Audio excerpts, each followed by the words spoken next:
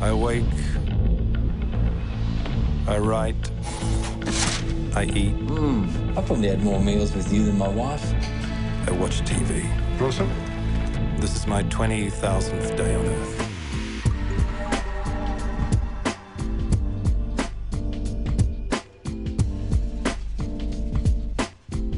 I mean, it came really from knowing that we couldn't make a really um, unextraordinary film about an extraordinary artist. I think it would have been a real disservice to the subject to have made a very kind of journalistic, biographical um, kind of um, film. So we wanted to make something that kind of not only reflected Nick's creativity, but also maybe matched it in a way.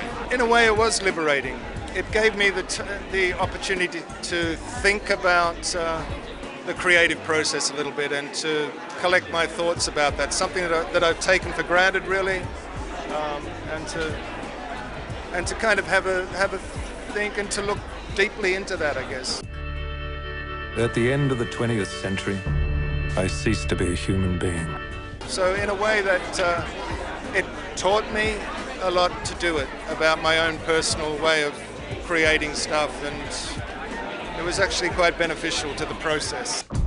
It does worry me that I'm not going to be able to continue to do what I do and reach a place that I'm satisfied with. What for you makes him stand out? Uh, I mean, he's, he's quite an iconic, unique character. Well, you just said it. That makes somebody stand out if you're an iconic, unique character. You know, we had a laugh as well. I mean, we pushed the boat out a little bit, you know, uh, but I, I guess 75% of it was us being us. Do you love performing still? I live for it.